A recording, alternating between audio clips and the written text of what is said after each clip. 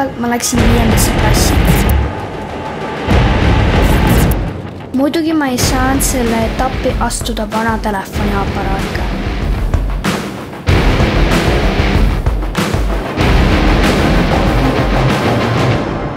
sellepärast mul oli vaja haltuurat tervist, olen Kristiina ja teie vaatate Veldman videokanalit. kuna roostevaba on juba ära viidud, siis tänaseks teemaks on süsinikterasse kaaslõikamine. Kaaslõikamiseks vajame kahte ballooni, voolikuid ja põletid. hallis balloonis on propaan, sinises hapnik. hapnik on plahvatusohtlik oluline on meeles pidada, et hapnik ja õli teineteist ei salli, seetõttu kindad peavad olema puhtad kindlasti kontrollige tagasilöögiklapid.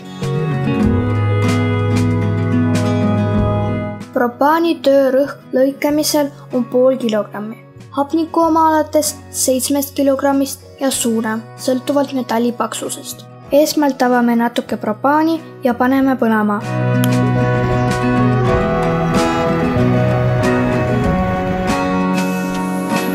järgmisena lisame hapniku et saada õige temperatuuriga leeki.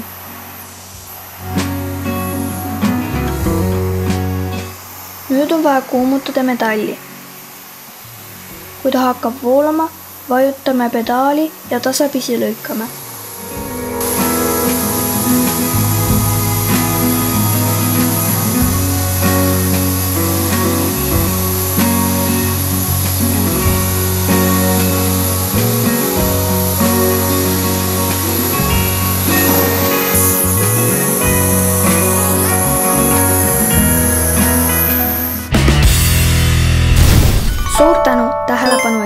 liituge meie kanaliga ja tulge õppima. head aega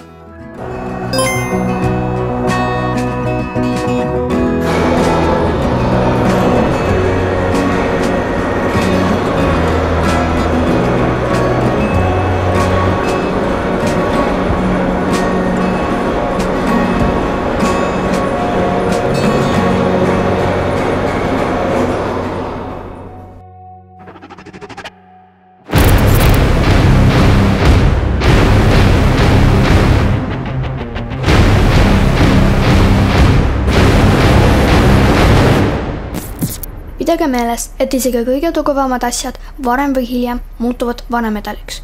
kuid mis iganes ka ei juhtuks, meiega jäävad meie teadmised ja oskused